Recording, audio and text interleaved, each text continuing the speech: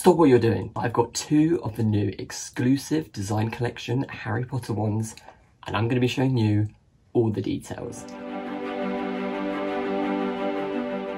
Hello to you Greggles and welcome back to my YouTube channel with me, the Greg Who Lived. I am extremely excited to be able to show you two of the new wands from the new wand collection by Warner Brothers and in this video I'm going to be giving you my hot take on the whole collection, which ones I like, which ones I don't like, and I'll be giving you more details of how you can get your hands on some of these wands and the two that are in these boxes. Don't forget to subscribe for more Harry Potter content every weekend and if you love this video, give it a big thumbs up and comment below. Wednesday, I was just minding my own business, working from home, when suddenly my Instagram was piled high with notifications all about the new Harry Potter wand collection. Originally, in New York, they were going to be opening a big Harry Potter store around this time. Warner Brothers released that there was going to be a brand new shop, and with it come a lot of new celebration wands, and some of those were going to be for the four Hogwarts houses,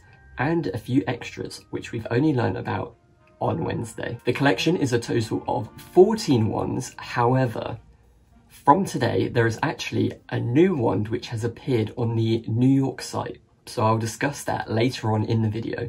But for now, in the UK, we can get 14 of these new designed ones by Warner Brothers, The Wizarding World, and they each come with their own look and their own unique design. We can kind of group them up into three separate categories. So we've got the Hogwarts mascot ones, which is for Hufflepuff, Ravenclaw, Slytherin and Gryffindor. We've got the artifact ones, which encompass the locket, the Hufflepuff cup, Ravenclaw's diadem, and the sword of Gryffindor. And then I'm going to call them the miscellaneous group, which is made up of a fantastic Hogwarts-inspired wand and some familiar creatures from the Wizarding World. The wands can be purchased from the Warner Brothers website. The new ones are costing £33 plus delivery, which in comparison to a normal wand, which costs £32, isn't that much more expensive, and I'm guessing that these are going to be maybe a limited run, who knows. Fortunately, at this moment in time, you can't actually use your gold membership on the Warner Brothers tour website. However, if you are in America, you can now go onto the harrypotterstore.com and that website allows you to enter your gold membership code and you will be getting the money off. So they work out at $40, but with the money off, they work out at $36. So not a huge price difference between normal ones and these celebration ones, but there are a few differences in terms of packaging and the wands themselves. This is a style of wand which has become quite popular at the tour. Very simple, just a simple box with the bit of protective over the top and the wands are presented just like this. However, when we look at the new ones, we can see they're in a very snazzy box.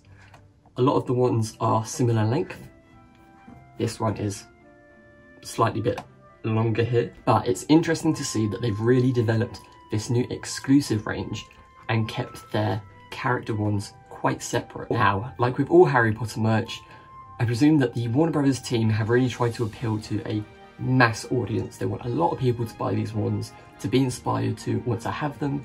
So I think they've tried to cover off a lot of different areas. Before I show you the two ones that I bought, I thought it'd be fun to go through the list, give you my hot take, and I can show you that exclusive new one, which at this time cannot be bought in the UK. I think I'll begin with what I think are probably the worst ones out of all of them. And I think that has to go to the house mascot ones. Each of the house mascot ones comes in the colours of their house. So yellow for Hufflepuff, for Gryffindor, blue for Ravenclaw and green for Slytherin. However, when I originally read that they were going to be doing these ones as mascots, I didn't know they were going to be quite literally the mascot kind of stuck on the end of a wand. I think sometimes the design teams at Warner Brothers might think a bit too literally rather than thinking outside the box. I guess it's fine to have a mascot themed wand, however I'm not entirely sure some of them are that good looking and especially the Hufflepuff one which is a very odd colour a very odd texture and looks like something your cat might do. Raven, which is going to annoy some people because it's not an eagle. By now we know that Warner Brothers like sticking to the Raven, but That one is sculpted, I think, quite well, and I quite like the colour, but it will put a lot of people's backs up that they haven't gone for the eagle and they have gone for this sort of raven look. I have seen a lot of people posting that wand on Instagram and they really love the raven, so I think that one's going to be a mixed bag. As for the snake, I think it looks a bit like a crayon. It's very green, very, very bright, and again, it's too literal having the snake going all the way around the core. I think they could have really done something a bit different or maybe applied a snake texture to the wand. However, I do think the Gryffindor one is really cool. I like the lion on the end. It looks very well sculpted and I really like the colour. It looks the most natural out of all of them. So I think that's probably out of the mascot collection, the most successful one. Then move on to the second group, which is the Hogwarts Artifacts range. And there's one for each of the houses. And I think this range is possibly some of the best ones from the collection. Starting with the Hufflepuff one, which takes on the form of the Hufflepuff Cup. It's got nice gold contrast, it's very bright, but has that sort of antique look. I think the textures of this one look brilliant. And you can see how they've translated the cup onto the wand without it being so literal. Going along the same theme, I think the Ravenclaw one does this as well perfectly. I absolutely love how they've sort of incorporated the diadem and the eagle into the top it's not so literal, three simple gems in it, and it looks really elegant. I really like the silver that they've used, and I think it looks fantastic. The Gryffindor one I think is really interesting in terms of the textures and the patterns they've used, and I love it when they use that patina gold effect. It's very similar to the effect they use on the band of Nicholas Flamel's wand, and I think they've done a brilliant job at translating once again the Gryffindor sword into a wand keeping it very Gryffindor inspired by not literally turning a sword into a wand shape.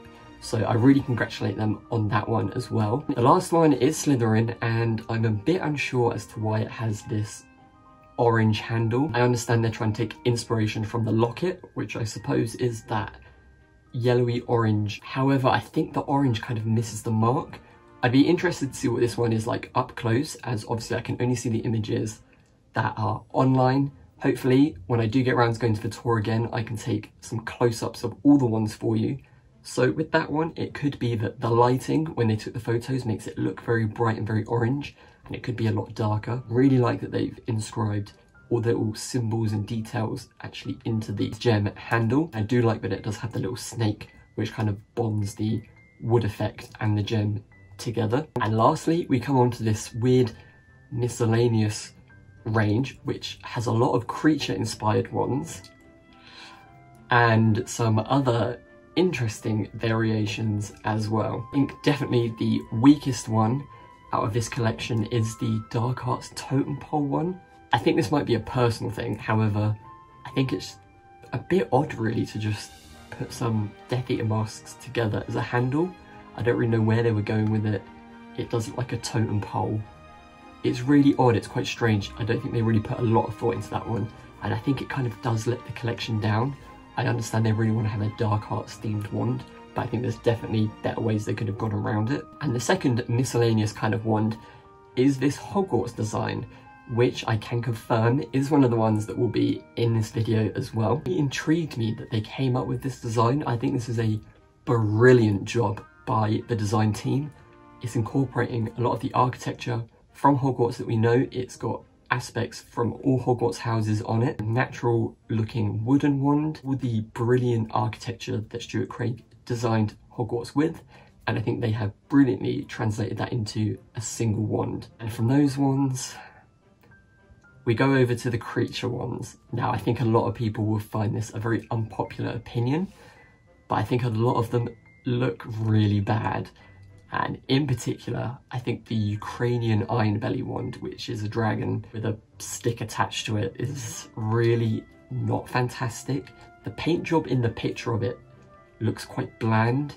The sculpture isn't that particularly good, the mold that they've used, and I think they could have just done a lot better with that idea. It's not really a huge part of the films apart from Deathly Hallows, but I'm thinking that people that go to the tour especially, when you see that huge dragon in the foyer, it might influence you to want to buy the wand that kind of goes with that in the gift shop. So that's my thinking behind that one. But I was really shocked to see that there was no wands relating to Buckbeak or Mandrakes or something that's more loved from within the series. Different types of owls, because we know that that's what they take to Hogwarts, or a Hedwig themed one. So maybe this is a collection that they could expand on. Who knows? They have included a Bowtruckle wand, and we know that Bowtruckles have really done well from the Fantastic Beasts franchise. People absolutely love them. And it's actually really interesting that the Bowtruckle that they've used and the model that they've used is actually how I more imagined Bowtruckles to be. For those of you that played the Harry Potter and the Chamber of Secrets video game, they had Bowtruckles in and there were these kind of little wood creatures and they were brown and very barky and this is what the wand looks like as we can see. And I do really love the textures that they've used on this. It looks very different to the Bowtruckles that we see in Fantastic Beasts. It looks a lot different to Pickett, who I'm then presuming is a baby Bowtruckle rather than adult, like the wand is meant to represent. I couldn't help laughing a little bit because the expression and the face of it looks a bit like a, a little old man. But I do think it's quite a cute wand and as I say the textures are brilliant and the colour and the paint job on that wand does look fantastic. So potentially that might be one that I would get in the future. One that I definitely will not be getting is the Phoenix or Fawkes, I suppose, wand, which I think leaves a lot to be desired once again. I think this looks like a really messy wand, and actually it's one that I have seen similar to the Geek Gear ones, who are another company that have produced these kind of Harry Potter themed ones for a couple of years. And I have noticed that the Phoenix one has conveniently disappeared on Geek Gear and has suddenly appeared in this new Warner Brothers range. So I do wonder if they've been forced to take theirs down. I know that for a lot of people, the Phoenix is quite a lovely aesthetic. They really love the Phoenix as a creature, and so for them, I think you will absolutely love it.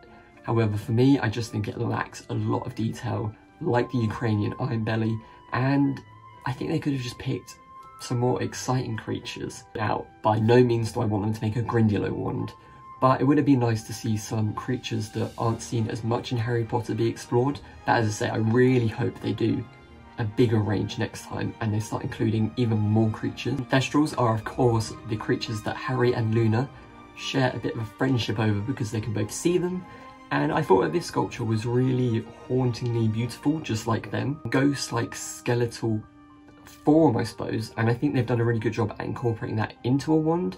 I really love the paint job. Thestral is the core of the Elder Wand so really interesting that they have kind of reversed it and made the Thestral the actual look of the wand as well. The last one, which as I film this now, is not available in the UK, but might be by the time I post this video, is the Golden Snitch wand. And it is only available at the minute on the US site. The design itself is quite interesting. By now, you must know I absolutely love golden snitches and collecting anything golden snitch. However, I think that this design isn't amazing. It doesn't really push the boundaries of the golden snitch and it does just look like the snitch has been stuck on to a rod. It's painted gold, it's very shiny, but I just think it once again they could have really created a nice sculptural looking wand. It just kind of looks like it's been stuck on as an afterthought. Because of the shape, they've had to elongate the wings and it looks a bit of a strange form, but potentially it could look like it's kind of flying as you're using it. This is coming from me who absolutely loves anything that has a golden snitch on it, a pair of socks, a hat, I'd get it. So I'm really sort of up in arms whether to get it or not to add to my collection. As it stands, if it is just something you can get from America, I don't really feel like forking out all that money and having to pay import duty as well. So we'll see if we get it here in the UK, and if we do, I will probably get it, but if not, I'll have to just be happy looking at photos online. Quick recap, the house mascot ones suck. Artifact ones, yes. The miscellaneous ones, Hogwarts one is absolutely brilliant. Some of the creatures are a bit hit and miss. Why don't we take a look at two of the ones which I got. Let's begin with wand number one, which is this very long box. They have completely redesigned the boxes. They're trying to offer something really new and what I love is these two are from the same sort of collection, so they're quite consistent in their appearance and the graphics that are used. I do believe that if you get one of the house-related ones, so for Ravenclaw, the boxes will be blue, for Gryffindor red, Hufflepuff they'll be yellow, and Slytherin they'll be green. That gives you a clue as to the type that I have gone for. And I absolutely love this jolt of purple that runs all the way around. At first I was unsure whether they'd made the boxes the right size, but it's meant to be know, we can see on the front we've got the Wizarding World logo, we've got Harry Potter, and exclusive design collection. One thing I do find very interesting is that everything has Wizarding World on it now, rather than J.K. Rowling's Wizarding World. Whether that's because they've kind of taken that off of her after everything that's been happening, or because she has just sold most of her rights to Warner Brothers at this point. Not entirely sure, but I'm definitely not complaining.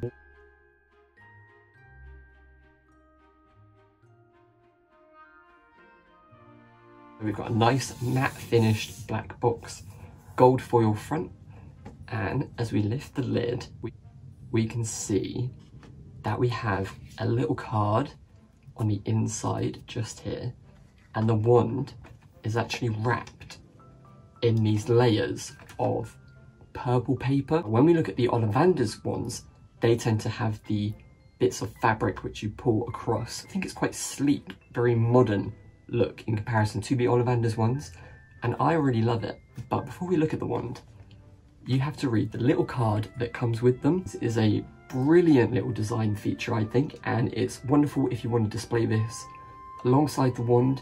Just gives you a bit more backstory to the wand, and this one actually says Hogwarts architecture, inspired by the intricate designs and hallowed halls of the prestigious magical school, the Hogwarts architecture wand celebrates the school's unique aesthetic and the architectural detail. Designed with the historic legacy of the school in mind, this wand is for those who dream of walking the walls of Hogwarts. What a wonderful description. If that doesn't make you warm and fuzzy inside, then you're watching the wrong video because I absolutely love that. And what a lovely little thing to just display with the wand. On the back, we've just got the Hogwarts crest logo and all the usual trademarks and things at the bottom, but this is it. As we peel back the paper, and just let you know this is quite thick paper. It's almost like tracing paper, but purple. It's quite translucent, but very interesting. Ready? Here is the Hogwarts Architecture wand. And I actually think this wand looks better than it does in the promo pictures.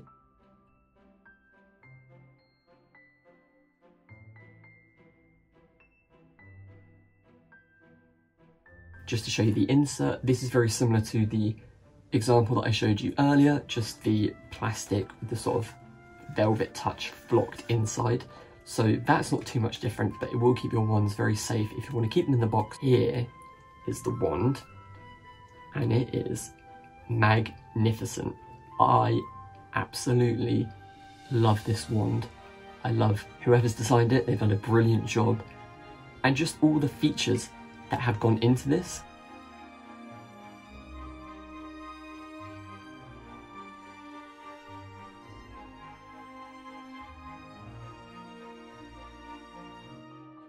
My friend Hannah actually laughed at this design because it does look very church inspired or cathedral inspired with all the architecture which we know is the medieval kind of gothic look that Stuart Craig was inspired by and all the little details are just brilliant. It takes on the look of a Hogwarts turret. We've got the four logos for each of the houses on the side. We've then got what looks like the Room of Requirement pattern door, followed by Dumbledore's Griffin door, and that's repeated once again. And then round the base we've got these columns, which look like the columns that kind of line the whole of Hogwarts, and it goes down into more of this architectural look, straight down into these veins that end at the wand tip. Everything about this is just brilliant. First off, it's very comfortable. You could do a lot of magic with this, but it's just a beautiful silhouette of a wand.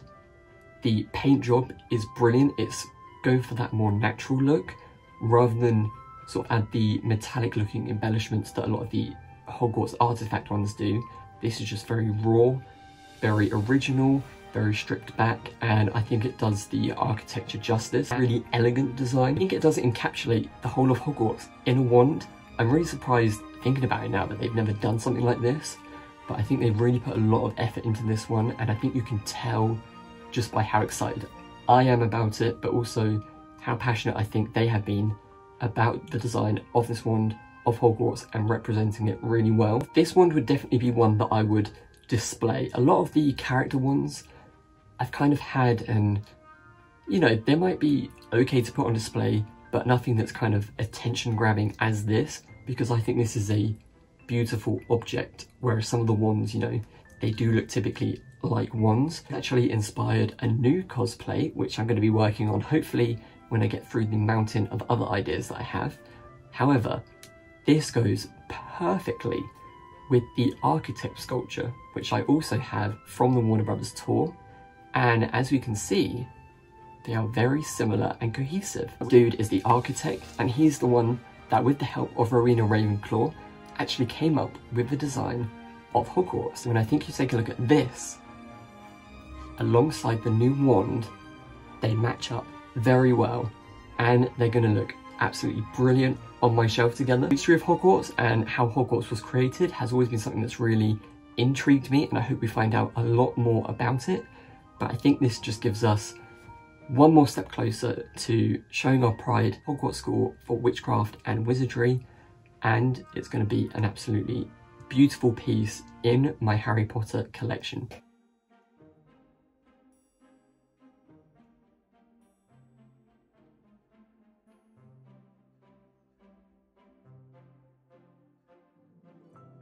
So moving on to my second wand, which I've kept as a bit of a surprise. But which wand is it? Whereas the first wand was particularly long, this one is slightly shorter. Have a look. Like with the Hogwarts architecture wand, it comes with a little card and it's going to give it away. But this is the second wand, which I went for. Inspired by the black skeletal winged horses that bring pause to many a superstitious witch or wizard, the Thestral Wand's design features their haunting likeness wrapped around wood, symbolising the Forbidden Forest. Although these creatures are associated with death and misfortune, this design is for those who can see the beauty inside all things. Again, what a lovely little note. Same as before, we've just got the logo on the back, but even the little Thestral picture is quite cute, and this would be perfect to display. Now that the cat is out the bag, or the Thestral is out the woods, let's take a look at the Thestral wand. So because I think these are in the same collection, comes with the same purple paper, but we can reveal the Thestral wand inside.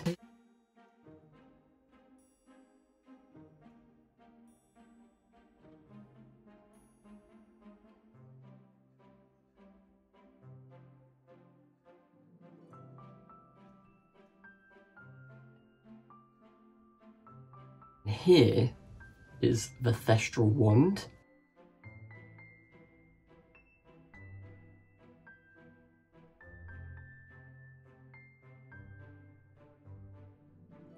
And what drew me to this wand was the fact that I love Thestrals anyway. I think they're such an underappreciated creature within the Harry Potter world. But I just thought the sculpt on this was beautiful and how they've done it wrapping around the wand is really interesting. When you look at something like this, I think it puts a lot of the other ones to shame. The fact that this one is has its wings wrapped around the body, they've textured all of the wand to make it look like wood, so it does have that link to the Forbidden Forest. The colours, I'm not sure if it will pick up from this far, but up close, it's brown, but with this kind of wash of greys and greens, makes it look almost a bit mossy on the wood and I just think it's a really interesting silhouette and very different to the others in the collection. I realise I sound a bit like a hypocrite because again this is I guess an animal stuck onto the end of a wand.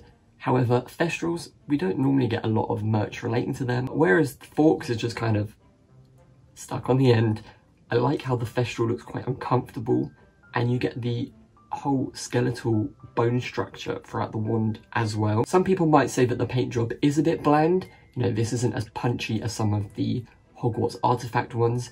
It is very monotone, but I think the paint job can kind of be outweighed by the incredible sculpt that has gone into this.